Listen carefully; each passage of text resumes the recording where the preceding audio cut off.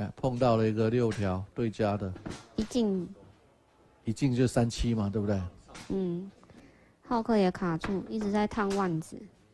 那浩那浩克这个牌就是就是用等的啊，对啊，一进厅就等啊，这种几乎没有什么改变空间的一进厅，除非他摸一条摸五条，可能去改变个九条，否则他就是等听牌了。还是没听。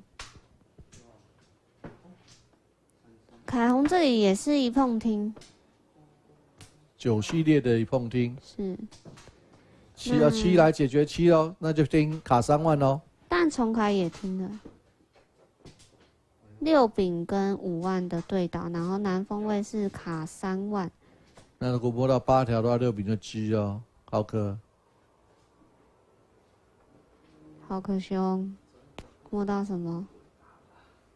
六条吗？摸到摸到摸到八九条，六饼的鸡鸡。八九条，走二条。我我刚刚说的是五条，是是？果然是摸到这种系列牌，是在思考。三家都听牌，只有连庄的浩克还没有听。卡三饼跟卡三万跟六筒五万，三条 listen。六饼是死门，他可以听二五条带六条的变形大螺丝，选择打二条偏安全，因为有人打过，非常好。大螺丝是失，落，哇，七万是没事的。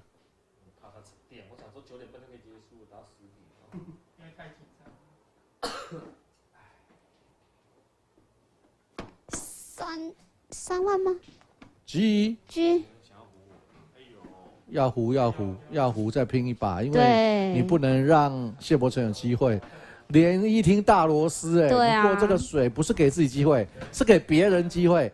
你听卡山，这里虽然呃有过水的动机，但是其实你的牌不够强，而且你不过还是有机会，而且已经有超吗？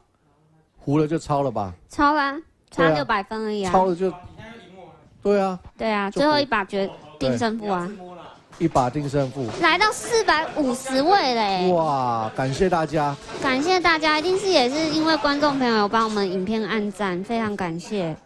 哦，按赞的人越多，然后会按赞会收到广那个 YouTube 你刚会你刚刚说的那个叫什么？演算法，演算法，对对对对，感谢大家，磊磊以案非常感谢。对，非常感谢。